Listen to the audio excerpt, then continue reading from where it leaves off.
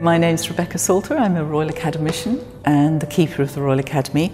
And I'm here at the Imperial War Museum looking at a selection of drawings made by artists who were prisoners in the Far East. When I graduated from art school here, I went to art school in Japan. And I've had a nearly 40 year involvement with Japan. But also as a child, my father had been a pilot in the war and we knew several people who'd been on the Burma Railway and there was always a sort of a hushed reverence for the experience they'd have, which I didn't understand as a child. And I did my undergraduate at Bristol, and the head of college was Jack Chalker, and we've got three wonderful works here by Jack Chalker. And when I was a student, I didn't realise he'd been on the Burma Railway and only discovered about 10 years ago. And reflecting on that, it's very interesting to think back on the way he ran the college and his whole attitude, which I think possibly could have been shaped by his time on the Burma Railway. I met him again about 10 years ago when he published a book of his drawings from the railway and he he talked a little bit more about it because as students we never spoke about it and I asked him unknowingly to write a reference for me to go to study in Japan and he wrote a very generous reference and said he felt that going to Japan would do me a lot of good which it did And he had determined that he would not be bitter. And he, he was able, which I don't think everybody was able to do, but he was able to divide Japan, Japanese people and Japanese culture from that particular period of the Japanese military.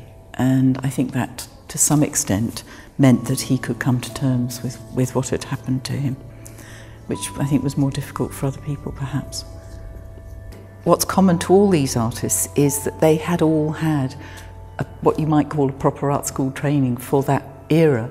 So they would have all done life drawing, I'm sure, and all sorts of drawing from still life. And they took those skills with them. And I think it was those particularly those skills of observation and drawing that would have sustained them to some extent. And I think particularly these three by Jack Chalker show different elements of that. This one in particular is slightly cartoony. I mean, it's certainly not a cartoony subject. It's incredibly brutal. But it's almost as if he is remembering comic strips or perhaps images from, from childhood. But again, they're drawn in a very detached, almost reportage manner. The drawings he made of improvised medical instruments, the objects themselves are incredibly grim and rather gruesome, but you can tell from the very, very detailed drawing that he is just loving, if that's the right word, the time he's able to disappear into that very intimate act of drawing and, and recording an object. It's dated 1943, so it was pretty, you know, things were at their worst when he was doing those drawings.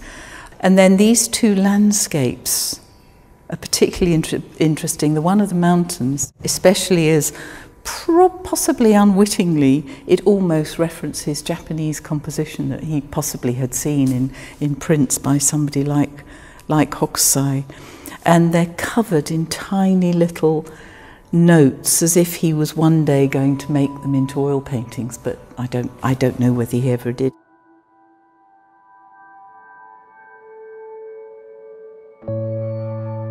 What I find quite moving about them is that they speak very clearly of a profound desire to, to draw and to record.